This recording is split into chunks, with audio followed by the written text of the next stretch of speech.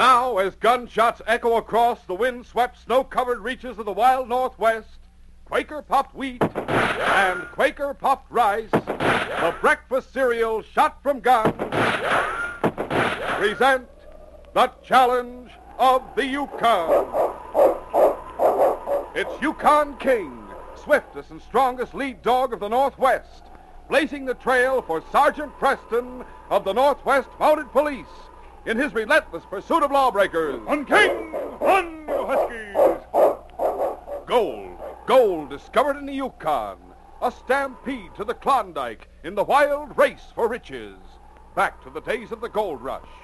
With Quaker puffed wheat and Quaker puffed rice, bringing you the adventures of Sergeant Preston and his wonder dog, Yukon King, as they meet the challenge of the Yukon.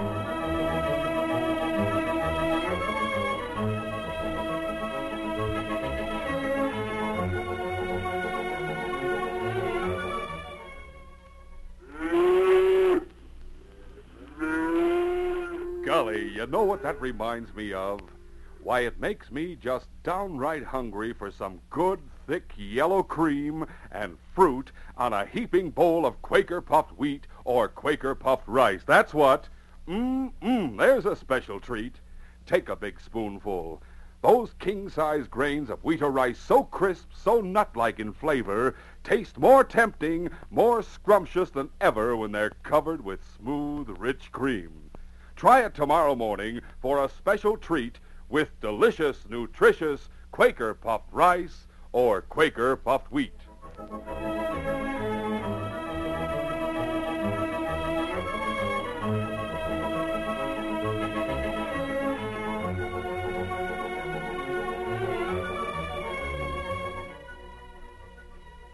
It was soon after daylight when Ed Vickers, an old prospector, set out from his cabin near Fowlerville and made his way over the rugged ground near Panther Creek. He had covered nearly two miles before he paused and glanced slowly around to make sure of his bearings. Then he drew the short-handled axe from his belt, began chopping the limbs from a slender sapling.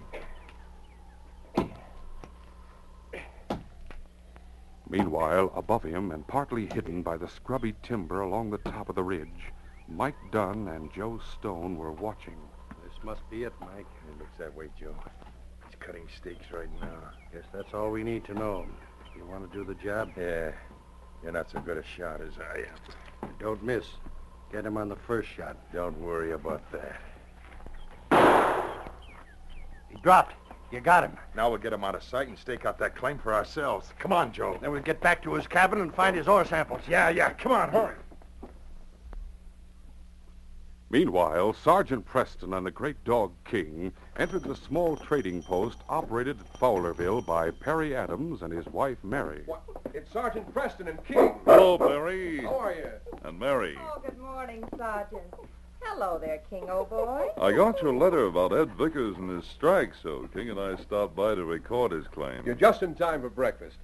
Mary was just putting it on the table. King and I had our breakfast more than an hour ago, thanks. Oh, then you camped near here last night? About five miles away. Oh. Late last night when we made camp. Oh, but surely you'll have coffee with us, Sergeant. Thanks, Mary, but I think I'd better go see Ed Vickers right away. But King knows where he lives. Why not send him after Ed while you stay here for coffee with us? Well, Of course. that's a good idea. King, old fella, how about it? I want you to go to Ed Vickers' cabin, understand? He knows you. Bring him back here. Go on, boy. I never saw anything like it. That dog understands everything you say, He Sergeant. certainly does. Just look at him heading for Vickers' cabin. When a man and a dog spend as much time together as we do, each learns to understand a lot of things. But sometimes King gets the better of me. Eh? Sit down, Sergeant. I'll pour your coffee. Oh, thanks, Mary. You and Perry might bring me up to date on this gold strike Vickers made. Well, it means as much to Mary and me as it does to Ed. You see, we grub staked him. Oh? I wondered why you wrote the letter instead of Ed. After shooting Ed Vickers, Joe and Mike traveled as fast as possible until they reached the vicinity of his cabin. Then they paused and studied the situation before proceeding. For several minutes, they watched from the concealment of a clump of trees. I don't see anyone around. Yeah, neither do I. But we can't afford to take any chances. Well, we're wasting time standing here. Let's shove on and get inside that cabin so we can look Now, around. take it easy, Joe. We gotta play this mighty careful. We gotta play our cards close to the chest. Remember, we got a hangman waiting for us if we make a misplay. But there's no one around and no one in the cabin. The old man lived alone. How do we know someone's not in this woods the same as we are? Maybe watching that cabin. Why would anyone else watch it? We can just walk up to the doors if we're making a friendly call on the old man. If anyone is around, he wouldn't see anything suspicious. No, all right, come on. The crooks moved boldly out of the sheltered trees and strode across the cleared area that surrounded Ed Vickers' cabin. At the door, they halted. Oh, I'll rap on the door. What's the use of rapping on the door? No one's home. It was your idea that someone might be watching. It was your idea to play this thing real safe. I'm willing to put on an act for anyone who might be watching. Make out like someone inside called to us to walk in. All right, all right. Don't talk so much. Yeah? Here we go. Better close the door so we won't be seen prowling around the inside of the cabin by anyone who passes. Yeah, now, let's see. Where'd he be most likely placed to hide the ore samples? Eh, your guess is as good as mine. Might be under the floor, under his bunk, or... Maybe inside the mattress. Eh, we'll go through this place with a fine-tooth comb. Those samples have got to be here somewhere. Joe and Mike began a methodical search of the small cabin. They examined the floor for loose boards and the fireplace for stones that might be lifted out to reveal a hiding place. They looked over the rafters, then in every cupboard and drawer, and in every tin box and jar that rested on the shelves.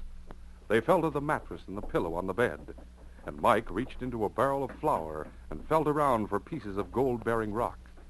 It seemed as though their search must be a futile one when Joe Stone noticed that one floorboard fitted more loosely than the others.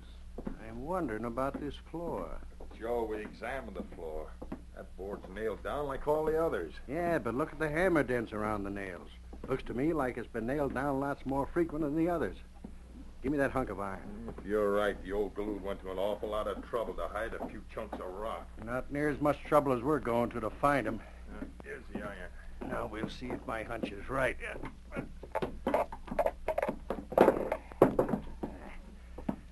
Came up easy. Now, now we'll have a look. Hey, Joe, I found them. The rocks. Yeah. Here, take a look.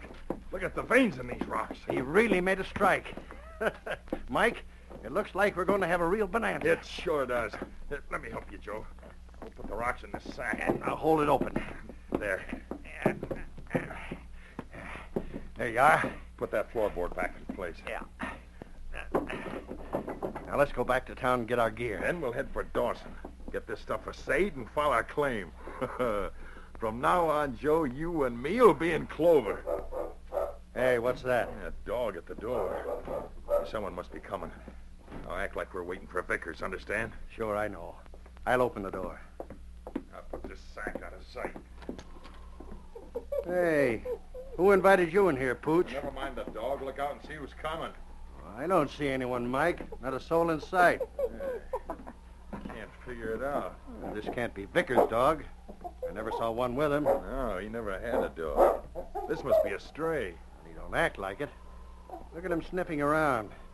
He acts like he's been here before. Hey, Pooch, what do you want? Oh, tough, huh? Well, get out of here. Careful, Joe. That dog doesn't seem to like you. Get back. Get away, do you hear me? Let him alone, Joe. I ought to put a bullet in him. Maybe I will. Put that gun away, you jughead.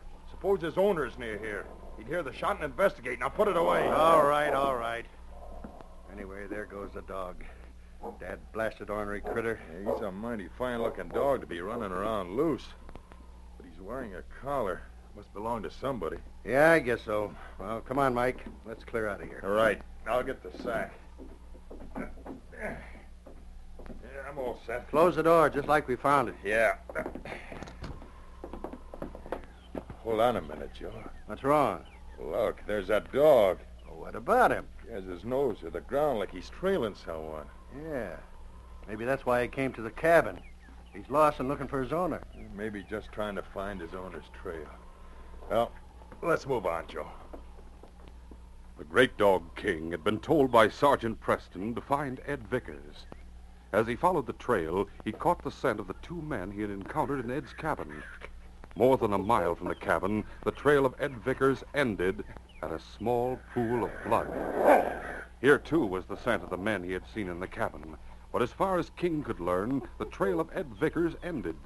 But Ed Vickers was not there. For a moment, King stood still, then caught a faint scent and raced ahead.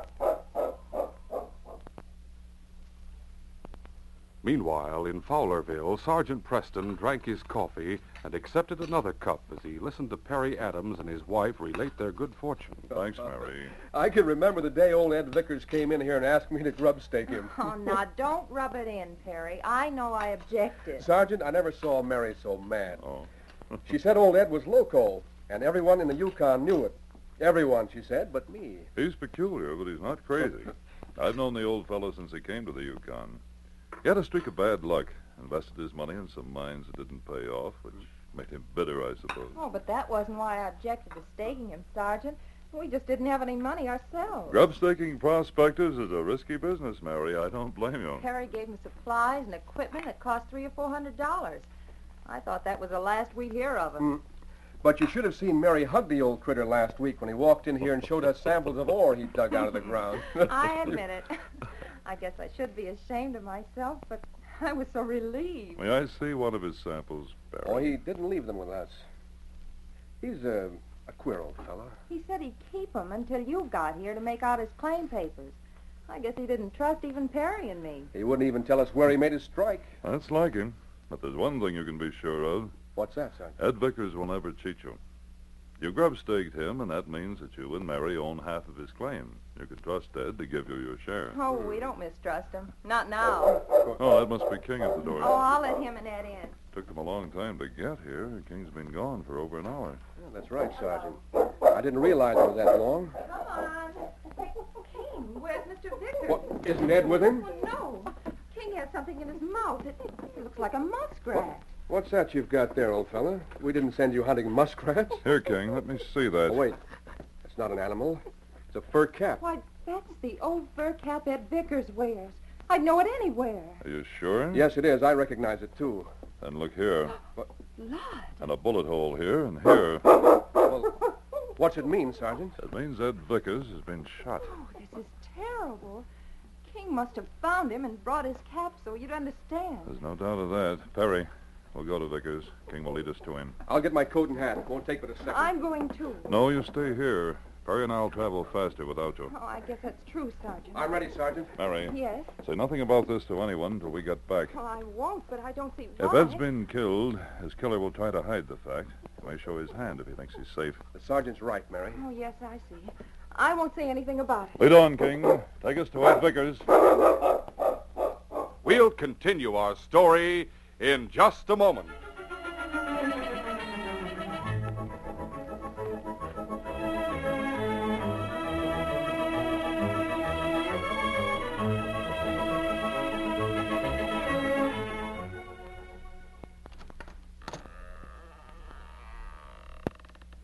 Now wait. Stand back. This is it. The famous ready-to-serve cereal shot from guns. Yes, fellas and girls, I wish you could see it yourself. In the big Quaker mills, huge guns are loaded with only the premium wheat or rice grains. Then, those choice kingpin kernels are exploded up to eight times normal size. Yes, actually shot from guns to make 'em crisp and tender, bigger and better tasting. Quaker puffed wheat and Quaker puffed rice are puffed to perfection, shot through and through with bang-up nut-like flavor, too. You get such crisp, tender, puffed kernels, they fairly melt in your mouth. The wonderful part of it is, the more you eat, the more He-Man nourishment you get. 'Cause Quaker puffed wheat and Quaker puffed rice have added food values of restored natural grain amounts of vitamin B1, niacin, and iron. So don't wait. Enjoy both delicious kinds, Quaker puffed wheat and Quaker puffed rice. Remember, the original crisp, fresh wheat or rice shot from guns is never sold in bags or bulk. It comes only in the big Quaker red and blue package with the smiling Quaker man on the front.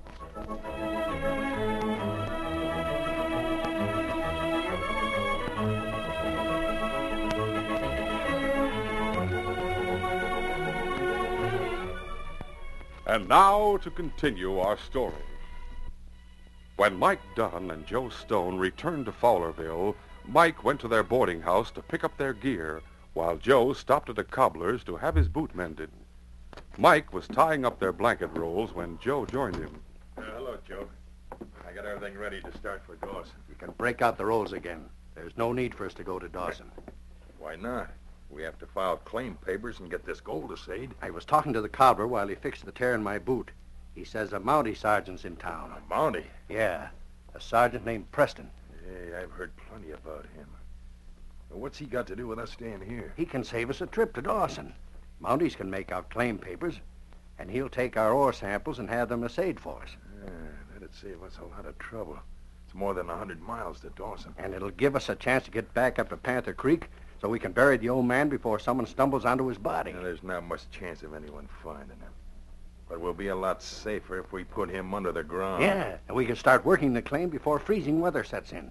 We may get out enough by hand to pay for machinery to work it during the winter. Uh, where do we find him, Mountie? The cobbler said he saw him and his dog go into the trading post. He said Preston usually puts up there when he comes to town. And let's go down there and have him make out the claim papers. Just help me get our gear unpacked first. Sure, I'll help you. When Sergeant Preston and Perry Adams followed King from the trading post, they expected him to head toward Ed Vickers' cabin. But instead, the big dog turned south and westward from town. Sergeant, he isn't going toward Ed's cabin. King knows what he's doing. We'll follow him. But if Ed's been shot and killed somewhere away from his cabin, I can't understand how King would know about it. If you'll remember, Perry, I told him to find Ed Vickers. Yes, I know. If King didn't find him at his cabin, he'd trail him. Oh, I see, Sergeant. A short time later, King led Sergeant Preston and Perry Adams through the rocky and twisting ravine called Panther Creek. Under a ledge concealed by loose brush, the two men found Ed Vickers. Must be under the ledge here. Whoever shot him tried to cover him up with brush. Let's pull the brush away. All right. There he is. We'll get him out where we can examine him. Yep. Let him down easily, Perry. All right. That's it. Sergeant, he's been shot in the head. Yes, but he's still breathing. Really? Good. Look at this wound. Oh, seems to be a long one. Now I see what happened. The bullet didn't penetrate the skull. It just grazed it under the scalp. That's why there were two bullet holes in the cap. The bullet went in at one place, glanced along the skull, and passed out of the cap again. That's right. Whoever shot him saw the blood and didn't remove his cap to see how serious the wound was. But when King found him, he wanted to bring something to you to show he'd located him. Yes, and the cap was the only part of Ed's clothing he could remove without tearing. Well, we've got to get a doctor. Is the one in Fowlerville? Oh, yeah. Doc Blackburn's the town's doctor. And I'll write a note and have King take it to Mary. I'll tell her to get Doc Blackburn and bring him here as fast as possible. They won't know how to find this place. King will lead them back here. Oh, yes, of course. I should have known that. While I write the note, you make Vickers as comfortable as possible with it. Sure thing. I'll fix him up all right. A short time later in Fowlerville, Mike Dunn and Joe Stone entered the trading post to be greeted by Mary Adams.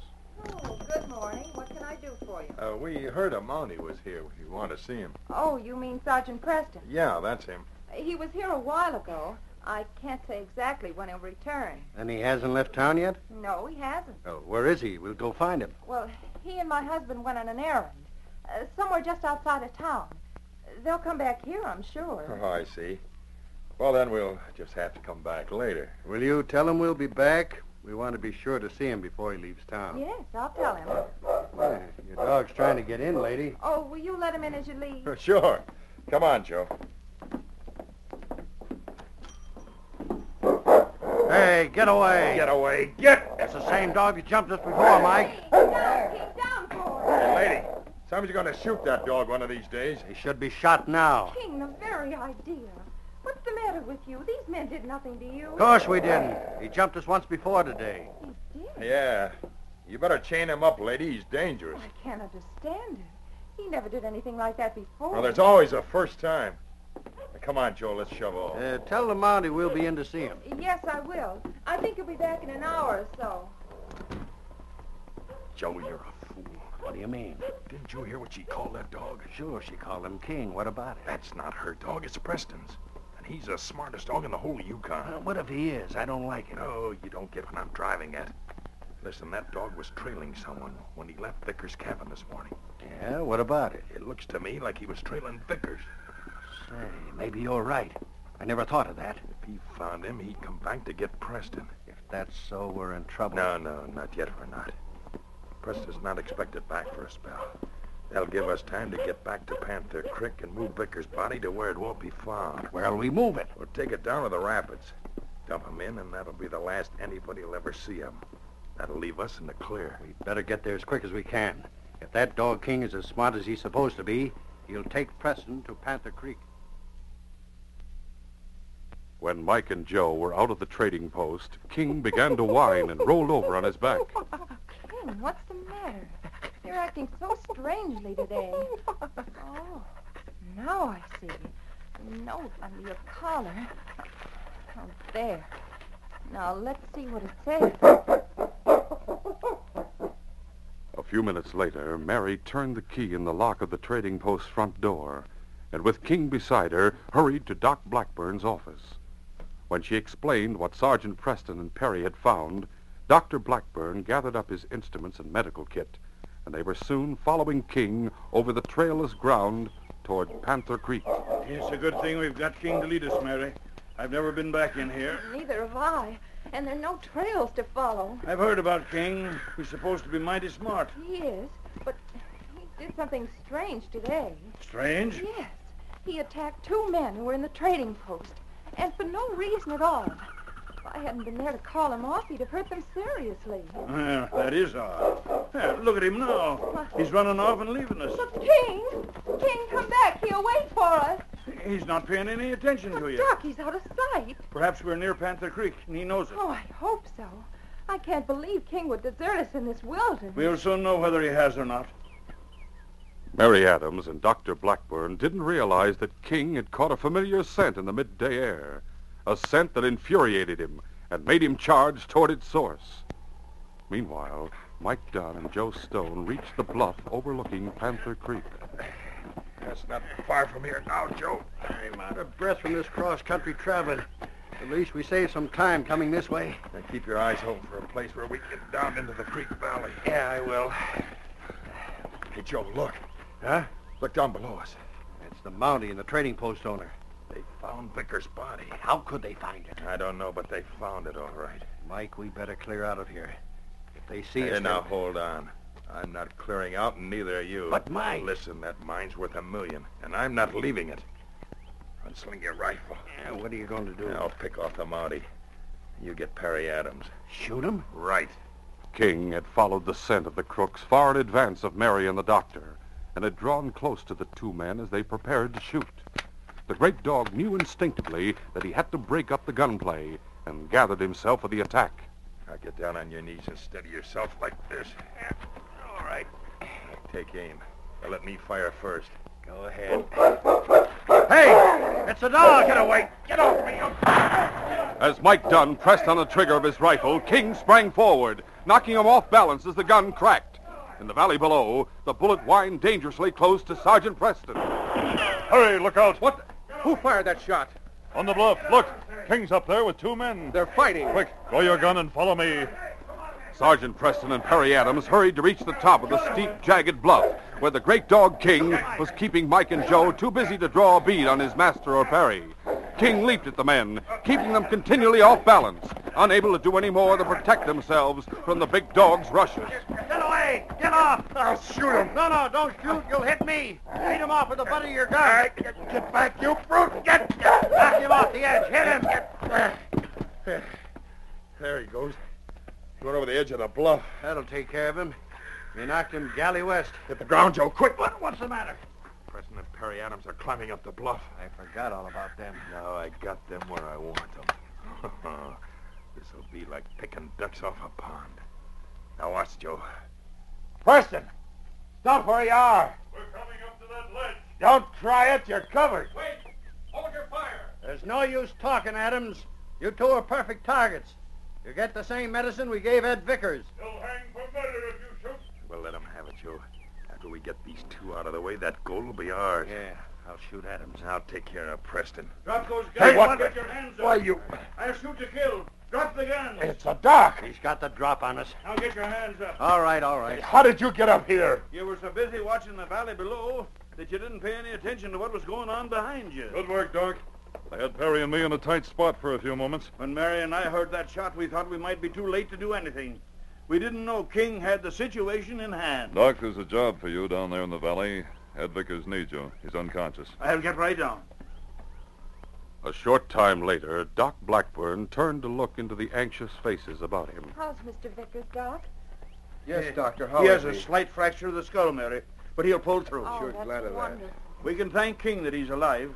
If he hadn't found him when he did, Vickers wouldn't have lasted but a few hours. oh, look. King's holding his paw up to you, Doc. Easy, King. Easy, fellow. now, now, what's the matter, old boy? Well, Doctor, when those crooks kicked him over the bluff, he sprained his foreleg. Well, I'll fix you up, King, old boy. While I'm doing it, I'd like someone to tell me who those two murdering varmints are. Their names are Mike Dunn and Joe Stone. I just got a full confession from them. When I came up behind them, I heard them say they had shot Vickers. That's right. And they planned to kill Perry and me, as you know, But why did they do it? to jump Vickers' claim. Thanks to King, their plans were upset. He found Vickers and led us to him. Those two are handcuffed, and they'll go back to town with us to face charges. Yes, King, old fellow. With your help, this case is closed.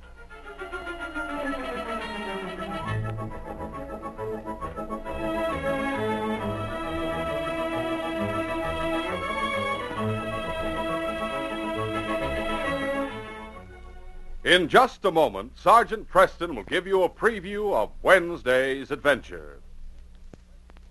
If you fellows or girls were to join Sergeant Preston and King tomorrow morning, you'd probably be in for a hard chase and long hours of dog sledding. And for the stamina it takes, you'd want a good, nourishing He-Man breakfast. A breakfast that includes a delicious heaping bowlful of Quaker puffed wheat or Quaker puffed rice with milk or cream and fruit.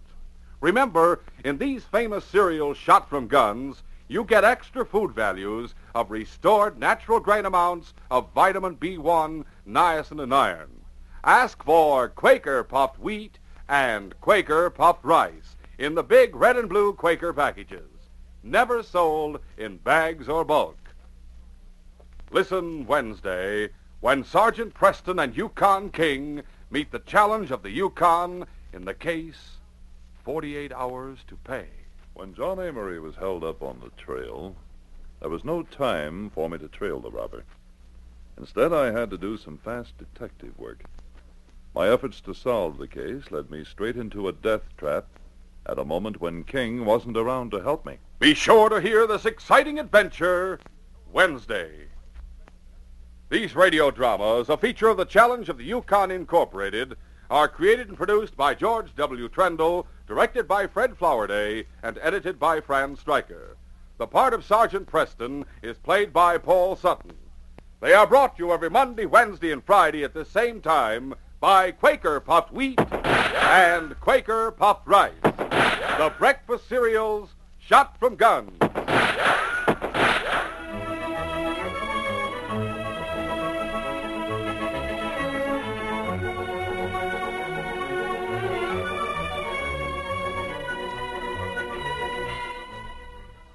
Your best bet for hot breakfast is Quaker Oats. The giant of the cereals is Quaker Oats. Delicious, nutritious, makes you feel ambitious. The giant of the cereals is Quaker Oats. Yes, if you want to be a star in sports and school activities, make your hot cereal Quaker Oats. Because Quaker Oats helps grow the stars of the future. You get more growth, more endurance from oatmeal than from any other whole grain cereal.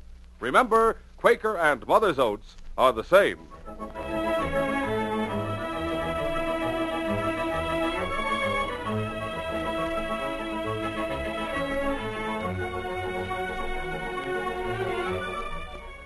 This is Jay Michael wishing you goodbye, good luck, and good health from Quaker Puffed Wheat and Quaker